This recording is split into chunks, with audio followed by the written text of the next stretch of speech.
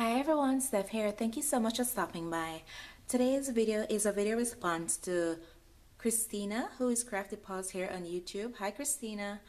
Uh, she's having a challenge for her great grandmother-in-law, um, Jacqueline's birthday, 99 years old.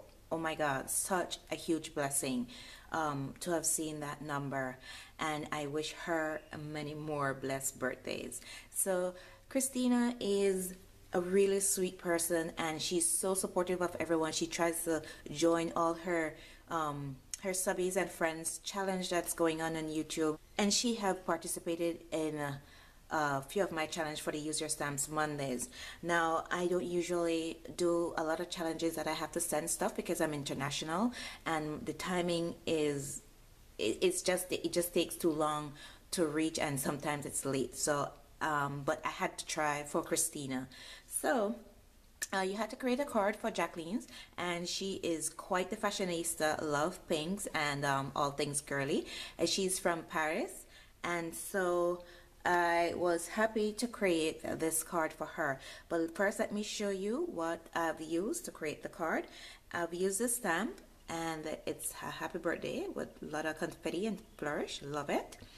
And I've used this Paris stamp. I love this stamp. And I've used this Graphic 45 Hamptons Art Physics stamp and die set and it is called Clocks. That's it.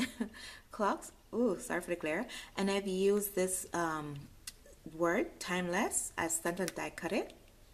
And I've used this craft smart glitter paint as usual.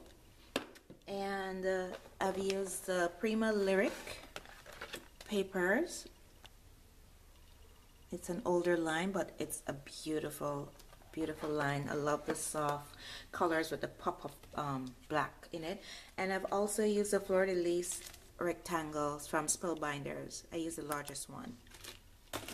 So let me show you my card that I made for Jacqueline. I absolutely love it. Oh my gosh it's really it's a soft pink and I absolutely love it. So um yeah let's start. I have a it's like a marble color soft pink cardstock that I layer on top of the white cardstock base. And the second layer is that fleur-de-lis rectangle. Now if you see the card is like a square. So what I did um, to give the illusion that the die cut um, is all around what I did is I layered it and I know the layout that I wanted. It wouldn't be showing here. So I just cut a piece of it. I cut this corner and I put it more here that way you can see it peeking out there. Give the illusion that it's all the way around.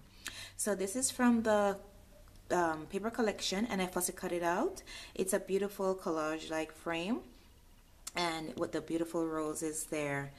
And I put some little flowers there from Prima and these are from Prima as well. I just layered them to give different texture with the burlap and the paper and put some bling in there. And um, I stamp and fussy cut the Paris. And I use that glitter paint that I showed you. I hope you could see all that glitter. It's so pretty. And underneath what I did is I stamped um, the stamp again on fun foam and then I cut it out just so I could have that dimension if you could see it there this is also layered up on fun foam as well so I just put this layer and I trace around it just to have everything popped up here is um, another image from the collection that I fussy cut out. Absolutely love it. This doily looking image and then this beautiful clock with the rose, col rose collage and this bee. So pretty. Here is the, um, the sentiment that I stamp and um, die cut.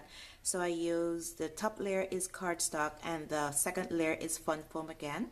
And I love using fun foam for intricate type dimension because um, you don't have to be cutting um, those little foam dots or whatever to give that dimension. You have the fun foam that is perfectly cut, perfectly even to the original die cut that you want. And here what I did is I just stamped and cut out another layer with cardstock ink the edges and put it there because I didn't want it to blend too much into this background. I wanted another layer to differentiate the the two layers. So like I've mentioned my flower cluster there and some bling here in the corner. And the inside I just layered some paper and I have my happy birthday in there. Now I'm thinking I'm going to do another die cut of this and I'm going to write a personal message to Jacqueline and I'm going to put it here um, I didn't do it yet because I didn't want to make a mistake so I'm going to take my time and do that there so this is Jacqueline's birthday card. I hope you like it, Christine, and I hope Jacqueline loves it. And also for the challenge, to get extra um, entry into the challenge, Kristina asked that um, if we can make Christmas cards for the seniors um, in the home where Jacqueline lives. So I am going to send some cards, but this one here I'm going to give to Jacqueline herself. Um, and I have a bunch of these cards that I'm going to show you. I had in my user stamps challenge if you have missed that. I will have the link to the playlist either here on the screen or in the description box below. So this one is a dimensional one. I've made two I've made one that is mailable and I have this one that's quite dimensional. So this one Kristina is going to be for Jacqueline for um, Christmas. And I am not going to go into details of this because like I said I have it in the um, playlist already. So that's two. And I recently showed this one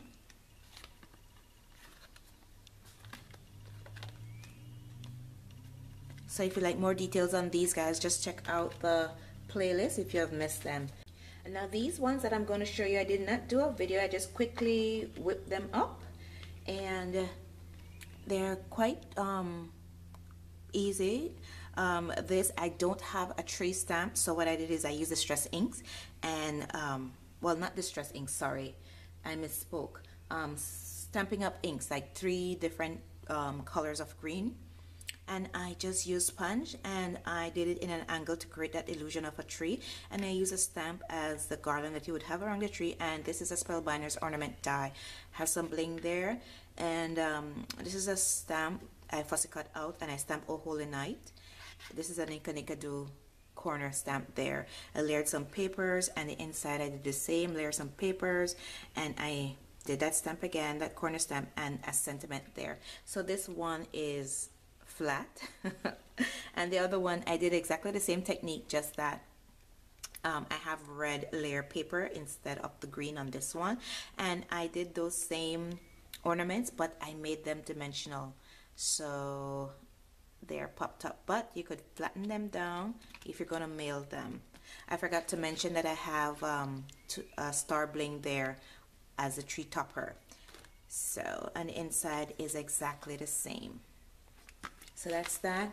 And this is another one that I quickly whipped up. Um, this gold um, filigree cut that you're seeing there that's from Anna Griffin. Love that.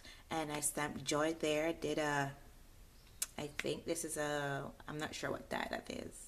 Not sure but anyway um, I stamped it using because this is a shimmer paper I had to use StazOn and I just cut different layers cut the last two layers in half that way. And I just open them up stick the original the top layer to give the illusion that you know it's several size die cut but it's one.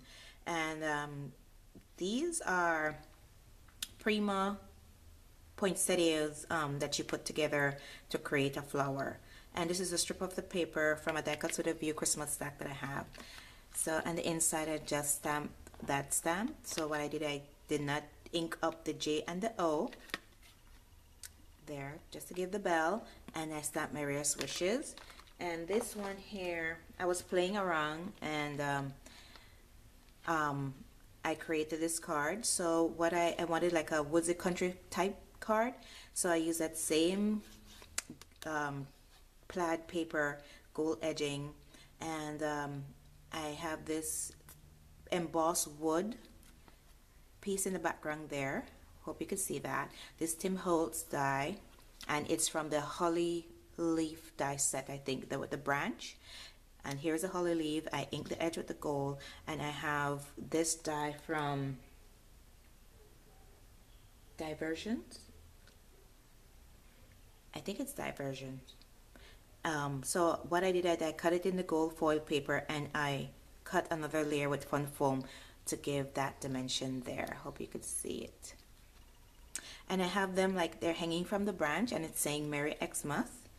So and my spellbinders die in the background and the inside.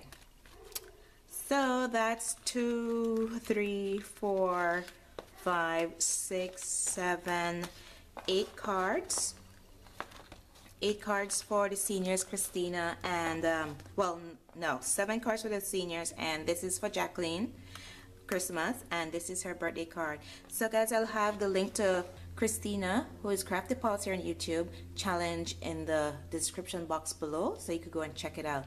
Thank you so much for a wonderful challenge Kristina and happy birthday Jacqueline. Until I see you again guys thank you all so much for watching commenting liking the video if you do and take care